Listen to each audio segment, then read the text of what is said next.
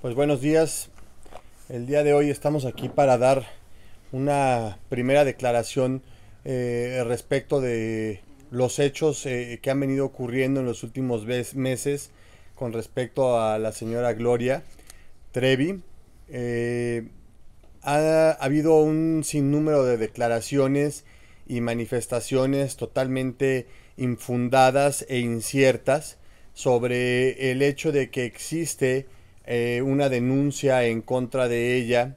por eh, este, malversaciones de fondos y mal utilizar, mal, utilizar los fondos en los pagos hacendarios y en sus pagos y en sus contabilidades y en sus cuestiones fiscales,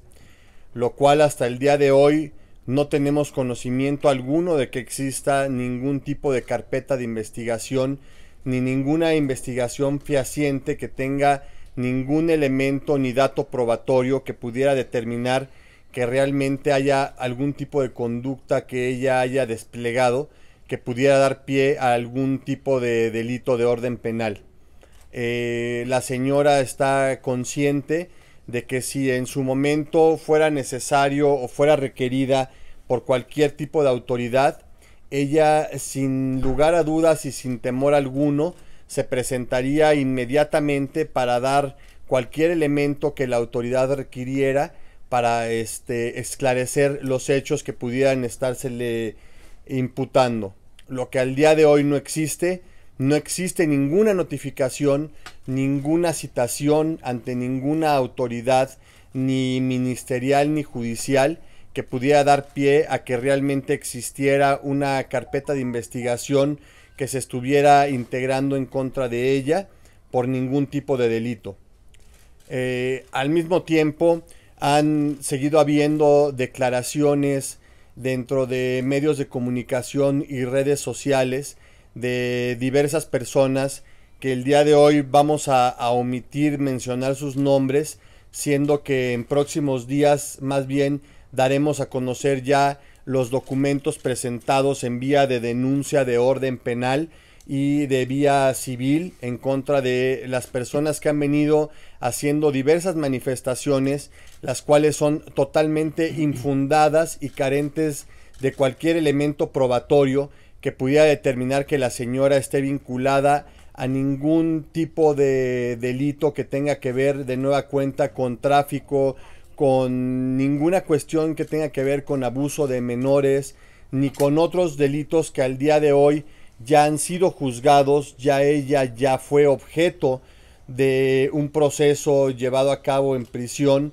y al día de hoy tenemos sentencias que determinan por concluido cualquier tipo de acusación penal en ese sentido que se haya querido venir llevando en su contra. La señora ha sido exageradamente tolerante. La señora ha sido una mujer que a partir del día que terminó su condena se ha dedicado a trabajar, se ha dedicado a ver por su familia, se ha dedicado a ver por la gente cercana a ella y hacer las cosas lo más ajustadas posible y lo más correctas posibles.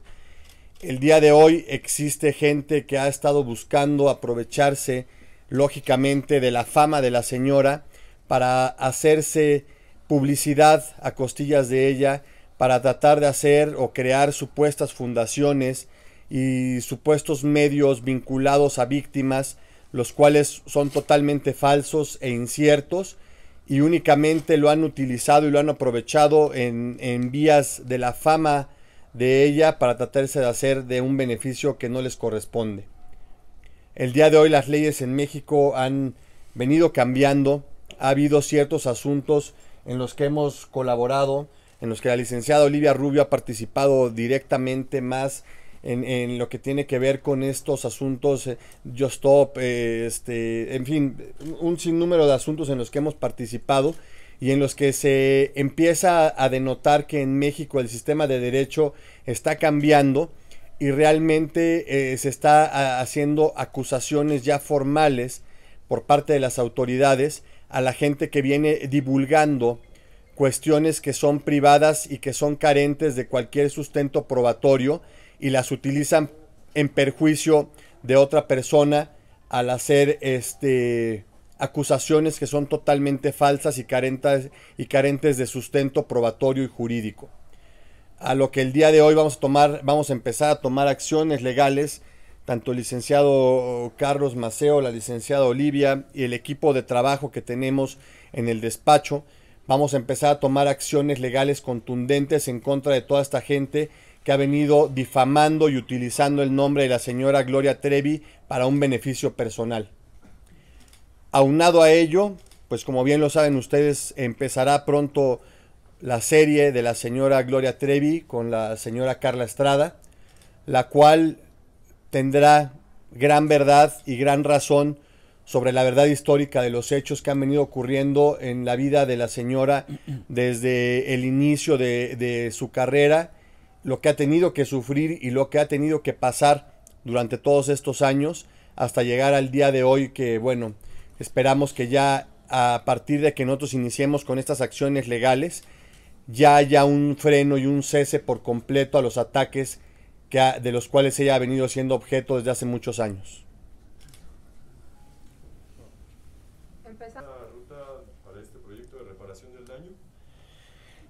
las rutas de, reparación del daño, como se están dando en, ajustadas a, los nuevos sistemas de justicia que prevalecen en el país, eh, los podemos ver en casos muy notorios. No sé si te gustaría, hablar. Eh, eh. Bien, a ver, ahí sí, se, escucha en, el micrófono. a esta altura podría yo estar hablando.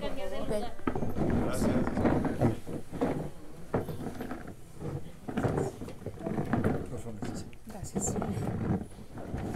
Gracias.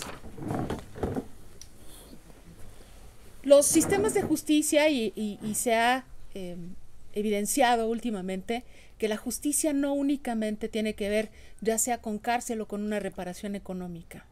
La justicia tiene que ver, por ejemplo, con un reconocimiento de los hechos. Es decir, la, la víctima tiene derecho a la verdad,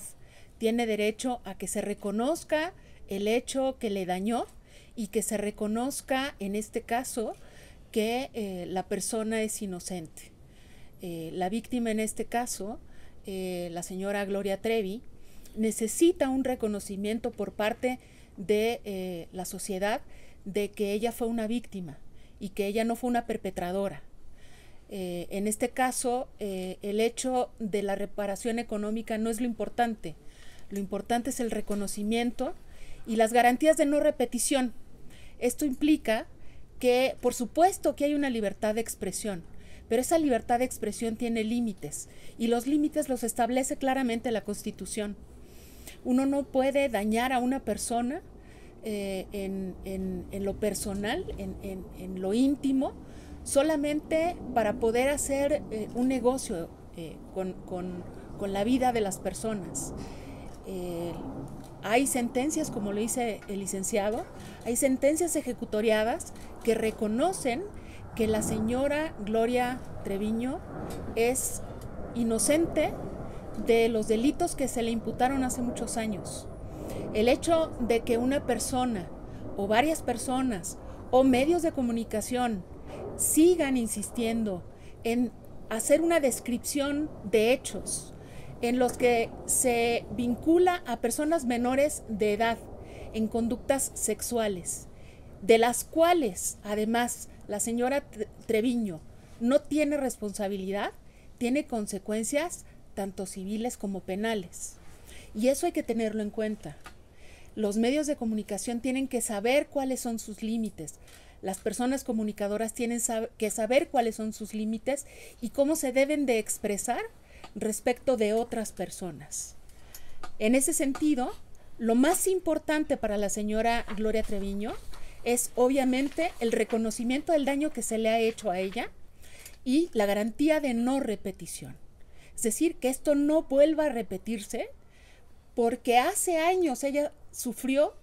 por toda esta eh, eh, cantidad de calumnias que se, se, cometieron en contra de ella, que se dijeron en contra de ella, y hoy vuelve a suceder. Necesitamos una garantía de no repetición, que esto no le vuelva a suceder a una persona que está reconocida incluso como víctima de los hechos. En lo primordial, como lo dice perfectamente bien la licenciada Olivia Rubio, es eh, la reparación emocional, pero también hay una reparación económica de los daños. Y esto también se esclarece y se está determinando no solo aquí en México, sino en Estados Unidos, donde también sabemos que existe una demanda en contra de cierta empresa, la cual el día de hoy es una demanda ya condenatoria por los daños sufridos en perjuicio de ella y en perjuicio de su imagen y de su persona. Y lógicamente también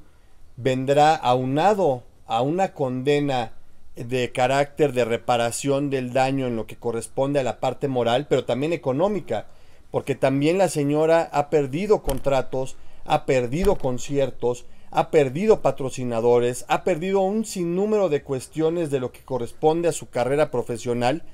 y los ha perdido precisamente por este tipo de malformaciones y malversaciones que ha habido por parte de diversas personas. Entonces, lógicamente, sí iremos por la reparación del daño moral, que es lo sustancial, porque es la esencia del ser humano y es lo que más le afecta como persona y como familia, pero también habrá una condena económica en la cual le tendrán que reparar a ella del daño de todo lo que ha perdido económicamente por estas malversaciones de esta gente.